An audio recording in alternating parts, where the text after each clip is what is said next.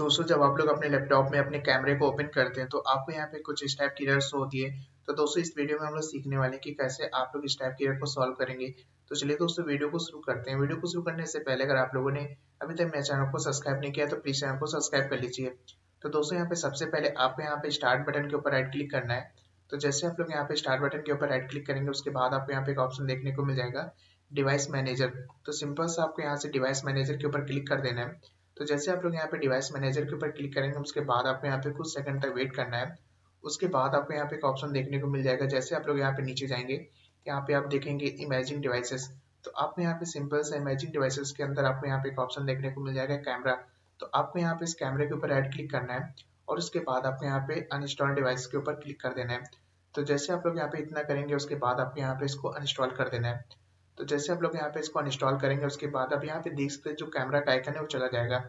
इसके बाद एक बार फिर से आपको यहाँ पे एक्शन के ऊपर क्लिक करना है। एक्शन के ऊपर क्लिक करने के बाद आपको यहाँ पे स्कैन फॉर हार्डवेयर चेंजेस के ऊपर क्लिक कर देना है। तो जैसे आप लोग यहाँ पे इतना करेंगे, उसके बाद आपको यहाँ पे कुछ सेकंड वेट करना है। उसके बाद आप देख सकते हैं यहाँ पे इमेजिंग डिवाइसेस के अंदर आपको यहाँ पे कैमरा का ऑप्शन फिर से आ जाएगा। इसके बाद एक बार फिर से आपको यहाँ पे इसके ऊपर राइट क्लिक करना है। राइट क्लिक करने के बाद आपको यहाँ पे अपडेट ड्राइवर के ऊपर क्लिक कर देना है उसके बाद आपको यहाँ पे कुछ ऐसा इंटरफेस हो जाएगा इसके बाद आपको यहाँ पे जो सबसे पहला ऑप्शन है search automatically for updated driver software तो आपको यहाँ पे इसके ऊपर क्लिक कर देना है तो जैसे आप लोग यहाँ पे इसके ऊपर क्लिक करेंगे उसके बाद जो यहाँ पे आपका ड्राइवर है वो अपडेट हो जाएगा इसके बाद आपको यहाँ पे इसको क्लोज कर देना है क्लोज करने के बाद हम लोग यहाँ पे एक बार फिर से जाके चेक करते हैं कि जो हम लोग का यहाँ पे कैमरा है वो प्रॉपर तरीके से वर्क कर रहा है कि नहीं कर रहा है तो यहाँ से अपना कैमरा ओपन करते तो आप देख सकते हैं यहाँ पे अभी भी जो हम लोग का कैमरा है, वो प्रॉपर तरीके से वर्क नहीं कर रहा है।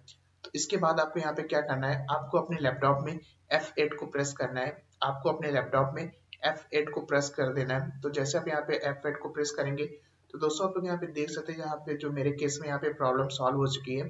तो दोस्तों इस तरह से आप लोग बहुत अच्छी तरीके से आप लोग अपने लैपटॉप के कैमरे को फिक्स कर सकते हैं।